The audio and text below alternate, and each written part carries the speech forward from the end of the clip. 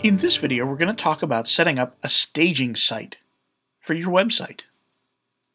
But before we get there, I want to tell you a little story. One time at work, my website said that there was a plugin update. So I clicked the update button. The screen went white like it always does, and the little spinning thing was going, and 20 minutes later, it wasn't back. A few minutes later, my boss came into the office and said, Hey, the whole website's down. What's going on? And I didn't have an answer. I didn't know what happened. It was a terrible feeling. A staging server would have saved me that pain.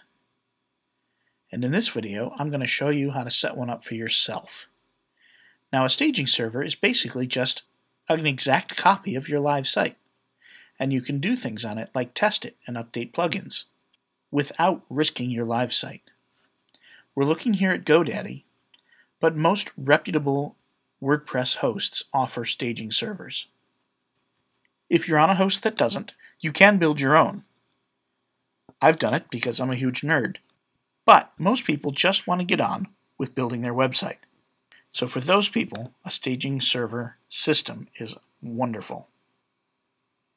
I'm looking at my live site on GoDaddy right now, and it says I have two updates. And I could simply click Update All.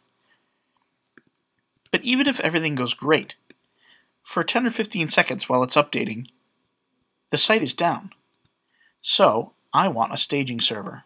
And right down here on the right, I'm looking at production. I can choose staging. And it says you haven't created a staging site. Create staging site. So I'm going to click that big green button. And now I have the option to clone from production or start from scratch. Starting from scratch doesn't really help very much. Cloning from production gets me an exact copy. That's what I want. So I'm going to click Create. And now it's actually doing the work. It can take a little time depending on how big your website is. If you have a large database or many, many files, it can take 15 or 20 minutes sometimes to set up a brand new staging server. Through the magic of editing, I'm going to make it so that you don't have to sit here during the whole time while my staging server is set up. Now the staging server is complete. Under these three dots, I can go to WP Admin or remove it. And here I can go to WP Admin. I'm going to click WP Admin. Now this site is completely identical to the other site in every way. It's just running on a different server. And note right here at the top it says, Note, this is a staging site. That helps you know that you're working on your staging site and not your live site. So now I'm going to go over to my updates. And it looks like I have three actually. So I'm going to update my plugins. And there we are. It worked great. But now my staging server is newer than my live server. So now we go back to our panel and we go to sync options. And we can push staging to production. If, instead, we wanted to revert what we just did, we could pull production down to staging. And here we have the option to overwrite content. Almost never do you want to do that.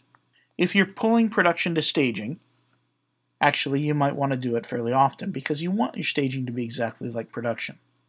But if you're pushing staging to production, you don't want to overwrite your latest content because somebody probably wrote a blog post yesterday and would come yelling at you if you overwrote it. So I'm going to push staging to production and I'm going to click sync. And there it skipped right from 60% done directly back to the production admin page here.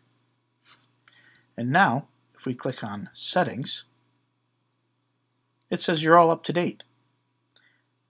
At no point did I actually push the update button on my production site. I updated the staging server and pushed all of the changes to live.